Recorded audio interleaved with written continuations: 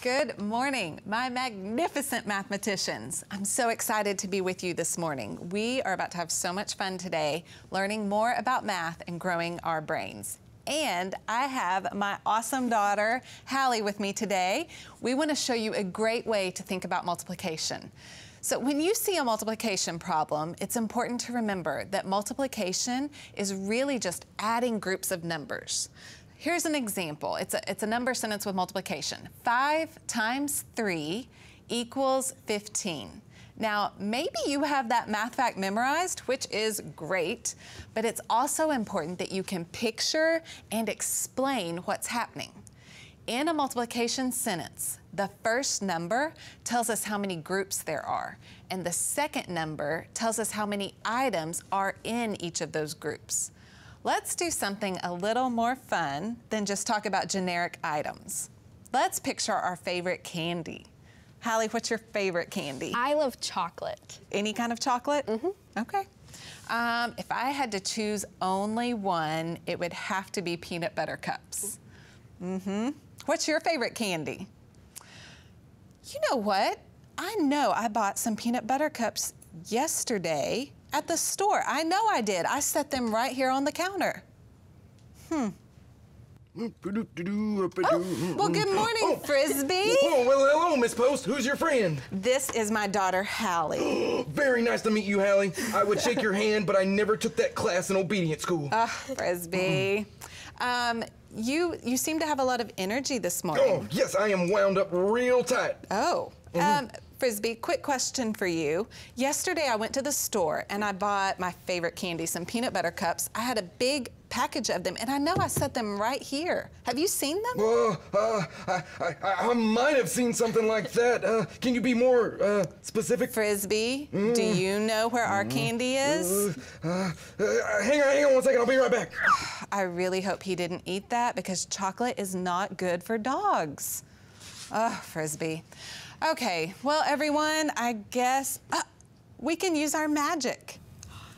Okay, Great idea. so on the count of three, we'll snap, and we'll we'll have to use magic to get our peanut butter cups here. Are you ready? Yes. On three. One, two, three. Mm. Oh, awesome! Mm. I love how that works. I found them. Frisbee, it was you, wasn't it? I I just really like the wrappers. They're very shiny and pretty. It's not good for you. Oh. Okay, look back at our number sentence. 5 times 3 equals 15. So that means that five groups of three peanut butter cups would be equal to 15 cups in all. Let's look at another multiplication sentence. 7 times 4 equals 28. That means that seven groups of four peanut butter cups is equal to 28 cups in all. You know, sometimes you'll see a math problem that has a question mark in it. It might look like this. What times 5 equals 45? Now, remember, that first number represents how many groups there are. So think about the question this way. How many groups of five items would give us a total of 45 items? We're going to use this muffin tin to sort our groups. So we know that each group has five items in it.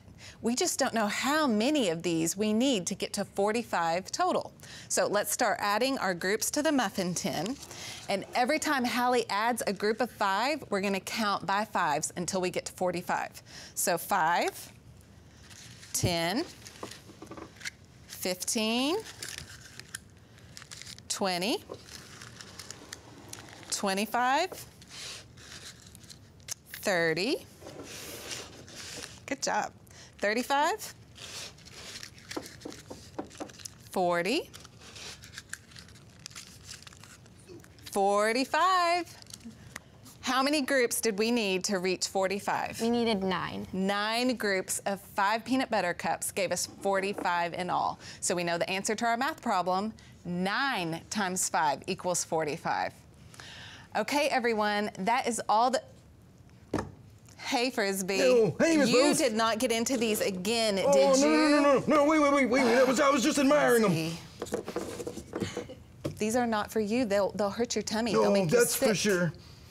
Do you have anything else we can give him? I have a bone. Would you like your bone? Oh my goodness, thank you so much. Yes, I would love that. If we give you the bone, no more chocolate for you. Or Mhm. aluminum foil, Frisbee. This is not good for you. I promise this is Mario. Ah, y'all, that's all the time that we have today. It was so good to be with you today. Um, I will see you soon on Rise and Shine. I hope you have a great day.